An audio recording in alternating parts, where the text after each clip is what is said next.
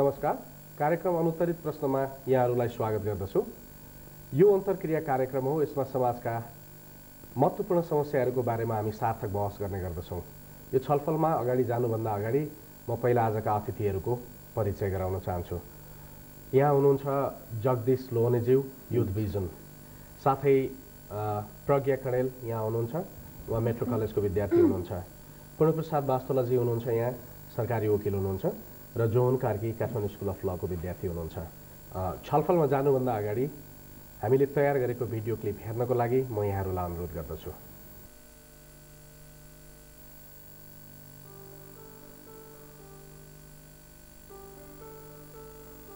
मोजमस्ती गर्ने होस् वा नैराश्य मेट्न दुर्व्यसनको लतमा थुप्रै नेपाली युवा युवती फँसेका छन्। अधिकांश दुर्व्यसनीहरू साथीभाइहरूको करकापमा परेर लागु औषधको सुरुवात गर्छन्। समयक्रममा चुरोट र गाँजा तान्ने लत बढेर ब्राउन सुगरको प्रयोग र सुईको माध्यमबाट टिडी जेसेक लगायतका अन्य लागु पदार्थ प्रयोग गर्ने गर्छन्। लागु पदार्थका अधिकांश प्रयोगकर्ता पुरुष हुने भए पनि हिजो आज महिला दुर्व्यसनी पनि छन् जसको संलग्नता यौन व्यवसायमा समेत पाइएको छ। सन् सत्तरीको दशकतिर काठमाडौँमा भित्रिएको हिप्पी पर्यटनसँगै नेपाली युवामाझ लागु पदार्थको दुर्व्यसन लोकप्रिय भएको अनुमान गरिएको छ। तर यो समस्या अहिले दिन प्रतिदिन जटिल बन्दै गएको छ र युवाहरूको सुन्दर भविष्यलाई जर्जर बनाएको छ। हेरोइन तथा चरेसको उपभोग तथा कारोबार अवैध भएको तथा यो महँगो समेत हुने हुँदा एक दशक यता नब्बे प्रतिशत दुर्व्यसनीहरूको आकर्षण टिटिडेसिकतर्फ बढेको छ। घरानिया परिवारका केही युवाहरूमा मात्र समेत कोकिनमा सर्वसाधारणको पहुँच छैन भने काठमाडौँको बजारमा ब्राउन सुगरको भाउ झण्डै सात सय रुपियाँ प्रति ग्राम रहेको छ। नशाको प्रभावमा लामो समयसम्म रहनका लागि अन्य कुनै लागु औषधि पनि सम्मिश्रण गरी ककटेल ड्रगको रूपमा दुर्व्यसनीहरूले प्रयोग गर्ने गरेको पाइन्छ।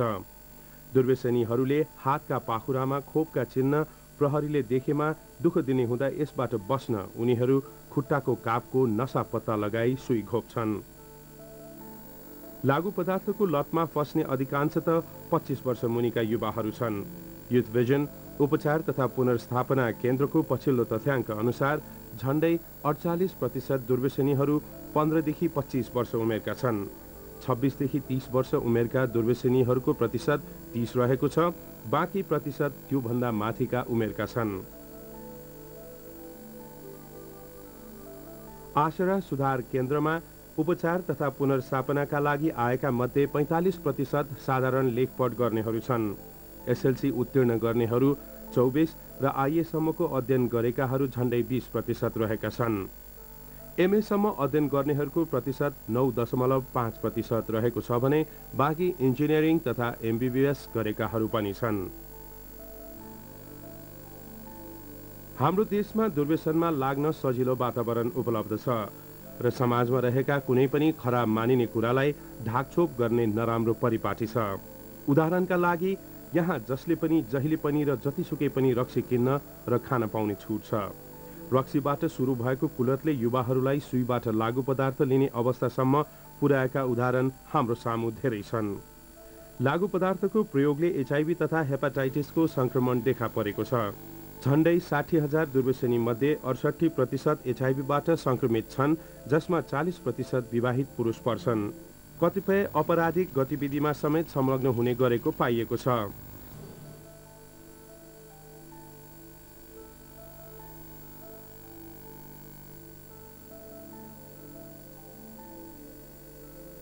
वर्षेनी लागु पदार्थ प्रयोगकर्ताहरूको संख्या बढिरहेको छ।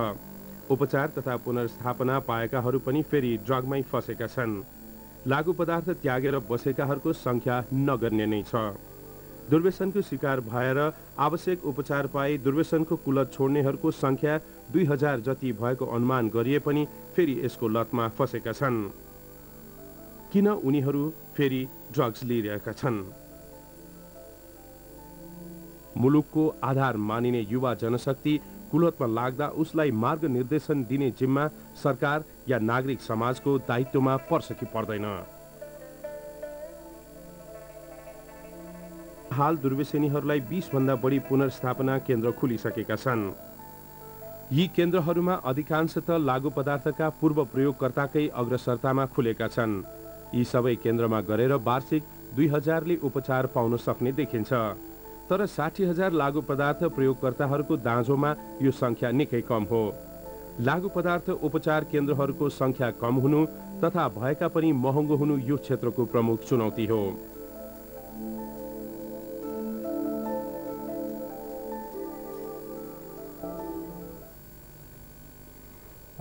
अब हामी हाम्रो छलफल सुरु गरौँ। के भनिन्छ भन्दाखेरि लागु पदार्थ सेवन गरेन भने अहिलेका युवा युवतीहरूमा एउटा फेसन नभएको जस्तो अनि खैनी खाएन भने चुरोट खाएन भने अरूभन्दा पछाडि परेको जस्तो महसुस हुन्छ अरे। हजुर। यहाँलाई कस्तो लाग्छ? त्यो केही हदमा सही हो तर हामीले लागु पदार्थको कुरा गर्दाखेरि र किन मान्छेले खान्छन् भन्ने कुरा गर्दाखेरि त्यसका विभिन्न कारणहरूको पछाडि जानुपर्छ। र अहिले तपाईँले भन्नुभएको फेसन आफै एउटा कारण अँ, त्यो एउटा कारण हो। र त्यसलाई हामीले के भन्छौँ भने हामी यो फिल्डमा बसेको व्यक्तिहरूले के भन्छौँ भने त्यो सेकेन्डरी कारण मात्रै हो। त्यसको पछाडि अरू कुनै कारण हुन्छ। र जहिले पनि के भन्छौँ भने drug is a result of a problem so there is a another problem there एउटा कुनै अर्को समस्या छ जसका कारणले व्यक्तिहरू लागु पदार्थ खान थाल्छन्। र सबैजनाले लागु पदार्थ जिन्दगीमा खाएर हिँड्दैनन् मान्छेले। कोही त्यस्ता व्यक्ति हुन्छन् जो चाहिँ नि हाम्रो समाजका बिस तिस पर्सेन्ट व्यक्तिले खान खान्छन् होला र ती खाएका व्यक्ति पनि पछि गएर नखाएर जान्छन् भने कोही चाहिँ त्यसकै लतमा बस्छन् भने त्यो कन्टिन्यू जाने व्यक्ति किन खान्छ त? त्यो किन कन्टिन्यू गर्छ? भन्ने कुरा नै त्यो महत्त्वपूर्ण प्रश्न हुन्छ। प्रज्ञालाई के लाग्छ? अ, जगदीशजीले भन्नुभएको कुरा। यङहरूलाई मात्र नभनौँ अब हाम यङभन्दा अलिकति बुढापाकाहरू नै यसमा लागेको देखिन्छ चोट खैनीमा चाहिँ बढी मात्रामा। बुढापाकाहरूले खाएको देखेर योङहरूले सिको गरे त्यही हो अब आफूभन्दा ठुलोले जे गर्यो त्यही नै हाम्रो अब यो नेपाली सोसाइटीमा त्यही नै छ। आफूभन्दा ठुलोले जे जे गर्छ सानोले पनि त्यही त्यही फलो गर्दै जान्छ। त्यो पनि एउटा लाग्छ भनेदेखि यो चाहिँ बढी वेस्टर्न कल्चरबाट चाहिँ फ्लोरिस भएर आएको जस्तो लाग्छ। वेस्टर्न प्रभाव हो यो? मैले अघि नै पनि भने कि वेस्टर्न प्र प्रभाव हो कि के हो भन्ने कुरो चाहिँ नि छ होइन। नभएको होइन वेस्टर्न प्रभाव वा चाहिँ नि म्युजिकमा लागेका व्यक्तिहरूले ठुल्ठुलो चाहिँ नि सेलिब्रिटीहरूले चाहिँ नि ड्रग खाएर बजाएको देख्दा आफू पनि त्यसरी बजाउने भन्ने ती चाइल्ड साइकोलोजीमा ती चिजहरू आउँछन् आउन चाहिँ नि। तर के हुन्छ भने हाम्रो आफ्नो अध्ययनबाट र हामीले विगतमा लागु पदार्थ प्रयोग गर्ने प्रयोगकर्ताहरूसितको नजिकै बसेर उनलाई उपचार गर्ने प्रोसेसमा हामीले जाँदाखेरि के पत्ता लगाउँछौँ भने उसको कुनै समस्या छ होइन? यो देखेर मात्रै चाहिँ। देखेर मात्रै हुँदैन। के हुन्छ भने। कसैको भावनाहरू हुन्छ उसको सानो बेलादेखिको। परिवारमा छोरछोरी धेरै भएमा बाउ आमाले मलाई धेरै माया गर्दैन भन्ने कुण्ठित होला। वा स्कुलमा जाँदाखेरि अलिकति पढाइमा स्लो लर्नर होला त्यसलाई टिचरहरूले पछाडि राख्ने वा अलिकति गर्ने। उसको शरीरमा डिफर्मिटी केही छ ठुलो सानो मोटो केही छ भने त्यो भावनाहरू त त्यो व्यक्त गर्न सक्दैन त्यो बच्चाले। त्यो कुण्ठित हुन्छ र हुँदै आउँदा आउँदा आउँदा के हुन्छ त भन्दाखेरि त्यसको सहारा लिन पाइराखेको हुँदैन उसले। त्यही बिचमा उसको परिवारको निगरानी पनि कम हुन जान्छ कतैबाट र बिचमा साथी सङ्गतहरू पनि त्यस्तै आउँदाखेरि उसले फाइनली के पाउँछ त भन्दाखेरि आफ्नो कुण्ठित भएको भावनाको सल्युसन चाहिँ नि रेफ्युज चाहिँ नि त्यो नसाबाट पाउँदाखेरि yes this is my solution भन्ने हुन्छ कि धेरै। जोन तपाईँले अध्ययन गर्नुभएको छ यो बारेमा। के लाग्छ तपाईँलाई? केही हदसम्म उहाँले भनेको कुरा एकदम ठिकै छ। तर कस्तो भने उहाँले अलिकति आउटवर्डले भन्दा पनि साइकोलोजिकल कुरा मात्रै गर्नुभयो। साइकोलोजिकल कुरा उहाँले यो सेन्समा गर्नुभयो कि भावनाहरू कुण्ठित भयो अनि एक्सप्रेस्ड भएन भने चाहिँ त्यसको आउटकम चाहिँ ड्रग लिन्छ भन्नुभयो। तर मैले चाहिँ आफ्नै साथीहरूमा पनि आफ्नै वातावरण पनि के देखिरहेको छु भन्दाखेरि त्यो एक्सप्रेस हुँदा हुँदै पनि खाइरहेको देखाएको छु मैले। जस्तै एउटा विस हुन्छ कि? सोह्र सत्र वर्ष पुगिया हुन्छ। खानु खान्छु होइन। भन्ने खालको? त्यो खान्छु भन्ने खालको विस होइन। सोह्र सत्र एउटा साइकोलोजिकल विस हुन्छ क्या I have to be looked mature then what my friends are looking उसको एउटै इन्टेन्सन के हुन्छ के हुन्छ भन्दाखेरि समाजलाई देखाउनु म बच्चा होइन I am not an adolescent I am an matured guy भन्ने चाहिँ उसको देखाउने फेरि अलिकति आउन चाहन्छु यो टिभी च्यानलको प्रभाव पनि छ यसमा? केही हदमा छ तर उहाँले भन्नुभएको कुरामा अलिकति म डिफर के हुन्छु भने नि जुन हामीले यदि नेपालमा भएको ड्रग युजर्सहरूको पपुलेसन हेर्ने हो भने उहाँले भन्नुभएको पपुलेसन पाँच पर्सेन्ट पनि छैन त्यो पपुलेसन। यस एक्ज्याक्टली काठमाडौँमा बस्ने टेन प्लस टू पढ्ने मोटरसाइकल चढ्ने मोबाइल लिएर हिँड्ने त्यस्ता स्टुडेन्टहरू छ जसलाई वेस्टर्न कल्चरले एकदमै राम्रोसँग इन्फ्लुएन्स पारेको छ। तर त्यहाँ यति धेरै ड्रग युजर्सहरू छन् जो सरकारी स्कुलमा पढ्छन् जसलाई अङ्ग्रेजी पनि राम्ररी थाहा छैन जसको किन्न सक्ने शक्ति पनि क्रय शक्ति पनि छैन जसको परिवारको इकोनोमिक स्टेटस पनि त्यो अनुसारको छैन पनि still they are drug users र they are so many drug users out in street जोसँग आफूसँग एक छाक किन्न। एक छाक किन्न सक्ने खान सक्ने पनि छैन भन्ने अवस्थाका ड्रग युजर्स पनि छ। होला उहाँले भन्नुभएको पपुलेसन काठमाडौँ पोखरा विराटनगर धरान यी यस्ता मेजर सिटीहरूमा होलान्। तर majority drug users are they are poor they are from ब्या पोर ब्याकग्राउन्ड मिडियम स्ट्यान्डर्डको चाहिँ फ्यामिलीको छन्। र तिनीहरूका समस्याहरू के छ भन्दाखेरि प्यारेन्टल गाइडेन्स सबैभन्दा मुख्य हुन आउँछ कि? संस्कृति भन्ने कुरो त इन्फ्लुएन्स भन्ने कुरो त त्यसै सारा संसारलाई चाहिँ नि त्यो वेस्टर्न कल्चरले बिगार्ने भन्ने कुरो हुँदैन कि त्यो कुरो। छन् आफ्नो ठाउँमा त्यसले रोल खेलिराखेको होला। तर त्यसमा मैले के देख्छु भने प्यारेन्ट्सको रोल कि? हाम्रो भ्यालु सिस्टम सिकाउने भन्छौँ नि एउटा त्यहाँ फेल गरिरहेको छु। त्यहाँ फेल गरिरहेछौँ कि हाम्रो कसरी बच्चाहरूलाई रेज गर्ने तिनलाई हाम्रो कल्चर के हो हाम्रो भ्यालु सिस्टम के हो कसरी गर्नुपर्छ कसरी जिम्मेवार हुनुपर्छ कसरी पढ्नुपर्छ कसरी इमान्दारिता देखाउनुपर्छ भन्ने कुरा त्यो हामी सिकाउन मैले अहिलेको प्रेजेन्ट परिवार फ्यामिलीहरूमा म कहाँ आउनुहुन्छ धेरै जसो हजुर। अनि मैले बच्चामा भन्दा उहाँहरूमा ल्याक देख्छु। होइन? र तर सोझै मैले तपाईँमै छ समस्या भन्नलाई सक्दिनँ।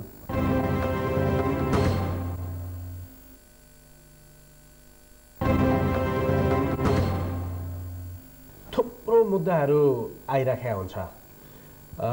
हामी के देख्छौँ भन्दाखेरि उनीहरूका यी समस्याहरू जस्तो अहिले जगदीशजीले भन्नुभएको कुरो जोनले प्रज्ञाले भनेका कुराहरूलाई हेर्नुभन्दा उनीहरूलाई सिधै अदालततिर लगिने अनि उनीहरूलाई थुनामा राख्ने सजाय गर्ने खालका प्रवृत्तिहरू बढी छन्। र वास्तवमा अदालतको रेकर्डलाई हेर्ने हो भने ड्रग बेच्ने भन्दा ड्रग खाने मान्छे बढी मुद्दामा गइराखेको छ भन्ने खालको चाहिँ एउटा अवस्था देखिन्छ। सरकारी वकिलको रूपमा यहाँले लामो समयदेखि काम गर्दाखेरि कस्तो अनुभव यहाँलाई छ? यो के हो यो रियालिटी? विशेष गरी सर यसमा हामीले के देखिन्छ भने जस्तो कतिपय अभियुक्तहरू भइसकेपछि तिनीहरू अदालत गइसकेपछि अनि सम्भवतः हामीलाई लाग्छ लिगल काउन्सिलिङ पाएपछि होला कि भन्ने हामीलाई लाग्छ। त्यस अवस्थामा मैले यो सेवन गर्ने मात्रै गरेको थिएँ बेचबिखन गर्ने ओसार पसार गर्ने कुनै काम त्यस्तो मैले गरे होइन भनेर त्यहाँ गएर भनिराखेको अवस्था हुन्छ भने अनुसन्धानको क्रममा चाहिँ नि ऊ के भन्छ भने यी कुराहरू भनिराखेको हुँदैन। उसले कहीँ बोकेर हिँडिराखेको कहीँ लिएर हिँडिराखेको कहीँ बेचिराखेको त्यो अवस्थामा भेटिराखेको हुन्छ। त्यस स्थितिमा मुद्दा चलाउनु पर्ने अब कानुनी बाध्यता हो। मुद्दा अ, गइराखेको छ र यदि कम परिणाम छ र उसले सेवन गरेको कुरा स्पष्ट भनिरहेको छ भने त्यो अवस्थामा उसलाई विचार अवश्य भइरहेको छ। मैले अलिकति उठाउन खोजेको कुरा चाहिँ जस्तो उनीहरूलाई समस्याको पीडितको रूपमा भन्दा उनीहरूलाई अपराधीको रूपमा हेरेर बढी कारवाही गरिन्छ भन्ने खालको गुनासो छ। सरको भनाइमा म केही हदसम्म सहमत पनि हुनुपर्ने अवस्था छ। कि हाम्रो कानुनी बाध्यता के छ भने उसले त्यस किसिमको कुनै किसिमको लागु औषध लिएर हिँड्छ बोकेर हिँड्छ बेचबिखन गर्छ त्यो अवस्थामा चाहिँ नि उसलाई कारवाही हुनुपर्ने एउटा बाध्यता छ। र त्यसभित्र ऊ कसरी त्यो भयो भन्ने एउटा कारण त पत्ता लाग्न सक्छ तर हाम्रो के छ भने सामाजिक संस्थाहरू उसका प्यारेन्ट्सहरू गार्जेनहरूले त्यस सम्बन्धमा कारण यो हो भनेर त्यहाँ आउनुपर्ने अवस्था छ। त्यो कतिपयमा आइरहेको छैन। कतिपय घर परिवारहरू आफन्तहरूले पनि यसलाई होइन यो कुलतमा लाग्यो यसलाई चाहिँ नि मुद्दामा हालिदिउँ यसलाई थुनिदिउँ अनि मात्र यो सुधिन्छ। सुधिन्छ र कुनै पनि उपाय चाहिँ नि नलागेर हामीले ल्याएका हौँ भन्ने पनि आइरहेको छ। यसमा के छ भने नि जस्तो पारेन्ट्सहरूले नै लगेर भन्ने। के छ भने दुई तिनवटा एस्पेक्ट छ यसमा। के छ भने जो खाने मान्छे हो उसलाई आफ्नो ह्याबिटलाई सपोर्ट गर्नको लागि फाइनेन्स पैसा पुग्दैन। अब कतिले चोरी गर्छन् अनि नसकेपछि के गर्छन् त भन्दाखेरि आफै नै ओसार पसार गर्ने काम गर्ने ठुलो एकदमै उसको काम होइन कि सानोतिनो छोटो ओसार पसार गर्यो। त्यसले अरूलाई दियो अनि त्यसको प्रफिटले आफू ड्रग खानेहरू धेरै ड्रग युजर्सहरू त्यस्ता किसिमका छन् नेपालमा। एउटा संस्थाको रूपमा हजुर। यहाँले थुप्रै त्यस्तो का त्यो सहयोग गर्दाखेरि सरकारी निकायहरू जस्तो पुलिस र सरकारी वकिल यो बारेमा यहाँहरूको कस्तो हुन्छ? कतिको कार्य भनौँ न सहकार्य भइरहेको छ नेपालको कानुनले चाहिँ नि सेवन मात्रै गरेको रूपमा अपराधी भन्दैन ठान्दैन। हद से हद भई एक महिनासम्मको मात्रै सजाय तोक्छ त्यसभन्दा बढी के छ भने खरिद तथा बिक्री आफू ओसार प्रसार बिक्री लिएर हिँडेको अवस्थामा मात्रै सजाय तोक्छ र हाम्रो फ्यामिलीहरूको बाध्यता के भने यसले साह्रै दुःख दियो। कुनै पनि ट्रिटमेन्ट सेन्टरले यसलाई सम्हाल्न सकेन। अब हुन्छ यसलाई खरिद तथा बिक्रीमा हाल्यो भने अलिकति मुद्दा चलाउन सकिन्छ। अरू एक वर्ष दुई वर्षसम्म हालिदिन सक्छ ल हालिदिनुहोस् भनेर र भित्र हालिन्छ। र प्रायः जसो नेपालको जेलमा त्यो ओसार पसार गर्ने व्यक्तिहरू नै छन् सेवन गर्ने व्यक्तिहरू छैनन् र कानुनले पनि के भन्छ म सुध्रिन्छु म सुधार केन्द्रमा जान्छु भन्यो भने कानुनले उसलाई सुधार केन्द्रमा पठाउने एउटा निर्णय गर्न सक्ने सरी तपाईँ कानुनको विद्यार्थी। तपाईँ के के ठान्नुहुन्छ? उनीहरूलाई के अ, पक्राउने गर्नुपर्छ? उनीहरूलाई मुद्दा नै चलाउनुपर्छ? तपाईँ के विचार छ? सिम्पली एउटा लागु औषध खाएको सानो इस्युमा चाहिँ उसलाई चाहिँ प्यारेन्ट्स आफैले पक्राएर राख्नु जस्तो अनसेन्सिटिभ बिहेभियर तर उसलाई ट्रिट गर्ने अरू ठाउँ छैन नि त। त्यहाँ थुनिदियो भने कम्तीमा नखाला भन्ने खालको चाहिँ होइन। थुन्नु थुन्ने कुरा आउँदैन के? कस्तो पनि थुन्यो भने त घरमै चाहिँ चार दिवारी कोठामा लगेर चाहिँ थुनिदिएर चाहिँ चुको लगाइदियो भयो के अरे यसमा अहिलेसम्म हामीले यहाँ कुरा गरेकोमा चाहिँ यसो हेर्दाखेरि प्यारेन्टल के भयो। मेरो छोराछोरीहरूलाई टाइम पुगेको छ कि छैन मैले कति टाइम दिनुपर्छ? उनीहरूले मसित केही राख्न खोजिरहेको हुन्छ कुराहरू। होइन तपाईँले यसमा अलिकति डिफर गर्नुपर्छ। किनभने हामी एक्टिभ एडिक्सनमा आइसकेको मान्छे र जान लागेको मान्छेको फरकको कुरा। र जो एक्टिभ एडिक्सनमा आउँछ भन्नुको मतलब त्यसले आफ्नो पाँच दस वर्ष लागु पदार्थमा बिताएको हुन्छ। र त्यो पाँच दस वर्षको पिरियडमा उसले जुन टर्चर घर परिवारलाई दिएको हुन्छ नि त्यसले गर्दाखेरि त्यो भोग्नेलाई मात्रै थाहा हुन्छ। साठी हजार दुर्व्यसनी छ एकैछिन मानिलिउँ न अनि पारेन्ट्सहरू घरमा ऊ खान्छ उसले केही फटाइ गरिराखेको छ। अब सामाजिक संस्थाहरू छैन जसले उसलाई ट्रिट गरिदिन्छ। अब उनीहरूले के गर्ने त? थुन्देऊ भनेर नभने के गर्ने त अब उनीहरूले? यो यो स्टेटको पनि फेलियर छ कि त कतै? वा समाजको पनि फेलियर छ कि यो चाहिँ समाजकै फेलुर जस्तो लाग्छ। समाजमा चाहिँ एउटा सुध्रिसकेको मान्छे सुधार केन्द्रहरूमा बसेको हुन्छ नि। यो सुध्रिसकेका मान्छे फेरि पनि सोसाइटीले उसलाई चाहिँ होइन पहिले यो ड्रग्स युजर त थियो नि यसले आफ्नो घरको सामानहरू चोरी चोरी लगेर चाहिँ यसरी बेचेर चाहिँ खाने गर्दथ्यो। यसलाई त कसले वास्ता गर्छ र भनेर फेरि उनीहरू चाहिँ फर्केर चाहिँ ड्रग्समै उनीहरू चाहिँ होस् अब मेरो जीवन नै यत्तिकै बित्ने भयो। मलाई सोसाइटीबाट नै यस्तो अपहेलित प्यारेन्ट्सबाट पनि त्यस्तै केयर नपाउने म चाहिँ अब ड्रग्स नै युज गर्ने बाहेक मेरो ऊ चाहिँ केही पनि छैन भन्ने हुन्छ उनीहरूमा। त्यो कन्सेप्ट जस्तो कतिपय चाहिँ नि सुरु अवस्थामा जब उहाँ जगदीशजीले भन्नुभयो कि लागिराखेको लागिसकेको लाग्नुभन्दा अगाडि र लागिसकेको मान्छेको हकमा विचार गर्दा के छ भने सुरुमा जब ऊ लाग्न थाल्छ उसका प्यारेन्टहरूले केयरै गर्दैन कि? मुख्य गरी चाहिँ नि त्यो स्थिति भइराखेको छ। सुरुमा चाहिँ नि कोही भन्न पनि कहीँ चा चाहँदै चाहँदैन। जब ऊ एडिक्ट भइसक्छ त्यस अवस्थामा अब यो बिग्रियो अब यो सप्रिँदैन उसको गार्जेन र समाजले त्यो राखेको छ। पारेन्ट्स एजुकेटेड नै छैन नि त फेरि। प्यारेन्ट्स पनि एजुकेटेड छैन र जो छन् तिनीहरूले पनि त्यसलाई सुरुमा प्रकाशमा ल्याउन चाहँदैनन्। जब ऊ एडिक्ट भइसक्छ अनि अब यो कहीँ थुनियोस् जाओस् अब यसलाई हामीले सक्दैनौँ। यसलाई अब यो सुध्रिने अवस्था चाहिँ हुँदैन। यो बरु हामीभन्दा टाढा रहेर र गभर्मेन्टले नै यसलाई कन्ट्रोल गरिदियोस् भन्ने त्यो हिसाबले चाहिँ नि सोचेका देखिन्छ सोसाइटी गभर्मेन्टले गरोस् भन्ने चाहन्छ गभर्मेन्ट सोसाइटीले गरोस् भन्ने चाहन्छ अनि अर्गनाइजेसनहरू हाम्रो रोल त शिक्षाको मात्रै हो भन्ने ठान्छन्। अनि युवा युवतीहरू के ठान्छन् भन्दाखेरि हामी प्रभावमा छौँ घरबाट राम्रो ट्रिटमेन्ट छैन भन्ने ठान्छन्। यो त मल्टिडाइमेन्सनल छ प्रब्लम यही कारणले रिपिटेसन पनि भएको होला। यसलाई कसरी समाधान गर्न सकिन्छ त? के गर्न सकिन्छ? पहिलो कुरो त यसमा के भने यी जुन सामाजिक संस्थाहरू छन् यी चाहिँ अलिकति प्रभावकारी हुनु पर्यो। यी इफेक्टिभ छैनन् र साह्रै कम मात्रामा जस्तो यहाँ भन्यो कि साठी हजार दुर्व्यसनी मध्ये दुई हजारले मात्रै मुस्किलले त्यो उपचार पाउन सकेका होलान् अरू त यो उपचारभन्दा बाहिर छन् यो केयरभन्दा बाहिर छन् भन्ने कुरो स्पष्ट देखिन्छ त्यसकारण यो प्रभावकारी संस्थाहरू हुनु पर्यो र पब्लिक अवेरनेस यो गार्जेनहरू सबैलाई चाहिँ एउटा यो अवेरनेस हुनु पर्यो यिनीहरू यसमा लाग्न पहिला दिनु हुँदैन र जब लाग्छन् भने त्यसलाई रोक्ने प्रयत्न हामी सबैले गर्नुपर्छ भन्ने किसिमको एउटा भावना जागृत हुनु पर्यो तबसम्म यो जब यो चाहिँ नि यो जागृत हुँदैन। तबसम्म कानुनले मात्र यसमा केही पनि मद्दत गर्न सक्दैन कि कानुनले त अघि उहाँ जगदीश दिदीले पनि भन्नुभयो कि दुर्व्यसनी सेवन गर्नेलाई चाहिँ नि यो सजायमा नलगेर उपचारको मार्गमा लैजान सक्ने एउटा प्रावधान छ। तर त्यसमा चाहिँ पन्ध्र पन्ध्र दिनमा चाहिँ नि त्यसको मोनिटरिङ गरेर त्यसको एउटा प्रतिवेदन जस्तो पेस गर्नुपर्ने प्रावधान छ। त्यो जिम्मा लिने मान्छे आउनु पर्यो। त्यो आइरहेको छैन। र मैले भन्न खोजेको समग्रमा के हो भने सुरुमा जब ऊ लाग्न खोज्छ त्यसको कसैले पनि राम्रो केयर गरिराखेका छैन।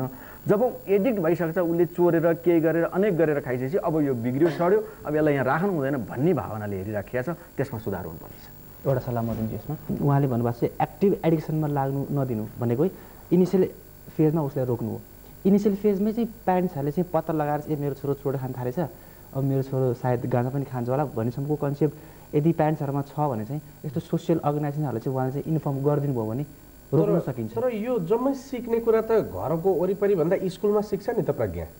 टिचर्सहरू नै चुरोट खाएर चाहिँ आइरह हुन्छ अनि एउटा स्टुडेन्टले त्यो टिचरले आफूलाई चुरोट नखा यस्तो भनेको थियो अनि त्यही स्टुडेन्टले टिचरलाई चाहिँ चुरोट खाएको देखेपछि अनि उसको साइकोलोजी उसलाई कस्तो इफेक्ट पर्छ उसले चाहिँ झन् त्यसबाट झन् प्रेरणा प्राप्त गरे जस्तो लाग्छ नि त। अब यो चाहिँ हाम्रो चाहिँ समाजमा चाहिँ कस्ता मान्छेहरू कस्ता चाहिँ युथहरू यसमा ड्रग्समा लागेका छन् भनेदेखि आफ्नै प्यारेन्ट्सहरूले नै खाएका आफ्नै प्यारेन्ट्सहरूले नै अल्कोहल पिउने अब चुरोटहरू खाने यस्तोहरूबाट नै बढी मात्रामा लागेको जस्तो देखिन्छ युथहरू पनि स्कुलहरू इफेक्टिभ छैनन् भन्ने गुनासो हजुर। एकदमै? सही हो र मैले भेटेका जुन व्यक्ति हज- हजार पन्ध्र छन् सबैको अलमोस्ट मैले बनाएँ भने नाइन्टी पर्सेन्ट स्टोरी त्यही हुन्छ अलिकति परिवारले केयर नगर्ने त्यसपछि स्कुलमा गइसकेपछि स्कुलमा पहिले राम्रै पढ्ने विद्यार्थी ब्याक बेन्चर हुँदै जाने।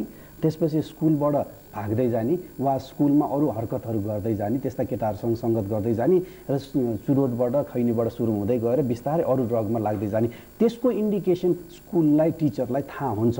र गर्दैनन्। स्कुलले त्यो गर्नुपर्ने जिम्मेवारी हो। एउटा कि काउन्सिलर राख्नु पर्यो त्यहाँ। कि होइन भने त्यो स्कुलकोले एडमिनिस्ट्रेसनले के गर्नु पर्यो भने उसको प्यारेन्ट्सलाई बोलाएर वाट्स ह्यापनिङ यस्तो यस्तो भइरहेछ भन्नु पर्यो।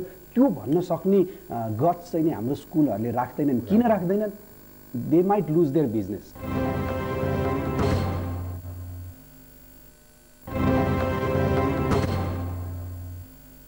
धेरै मान्छे ट्रिटमेन्ट पछाडि फेरि फर्किएका छन्। फेरि मतलब दुर्व्यसनमा गएका। छन्। यो के ट्रिटमेन्टको फेलियर हो कि यो फेरि यो पनि परिवार वा हजुर म उसले म आउँछु त्यसमा पनि। अघि नै उहाँ सरले भन्नुभयो कि संस्थाहरू प्रभावकारी छैनन् भनेर।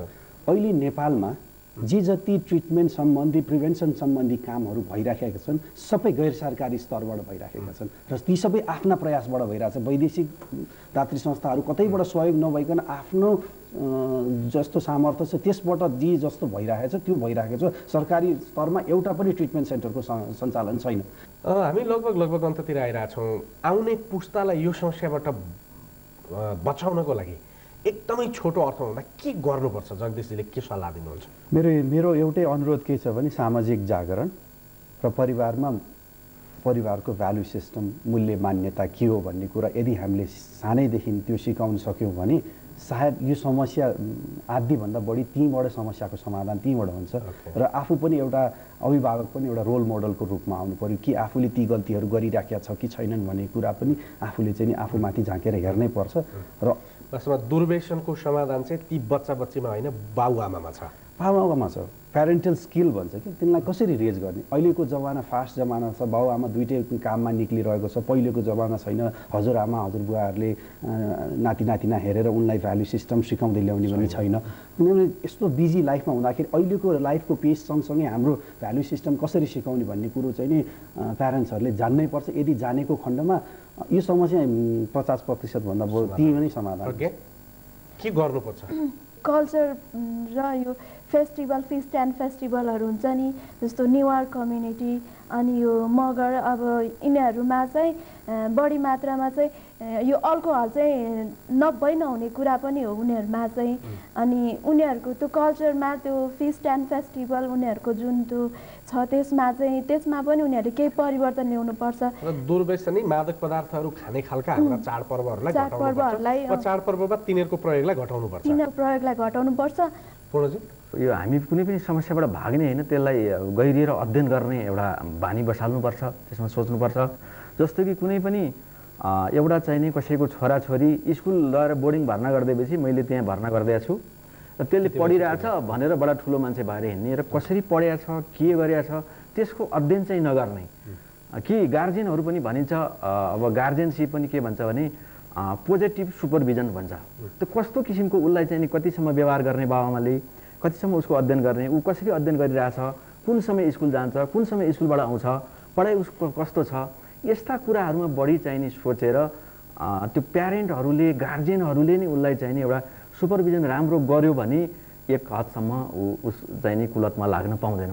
त्यस्तै गरी स्कुलले पनि यस्ता किसिमका जनचेतना जागरण जगाउने खालका चाहिने कार्यक्रमहरू ल्याउनु पर्यो।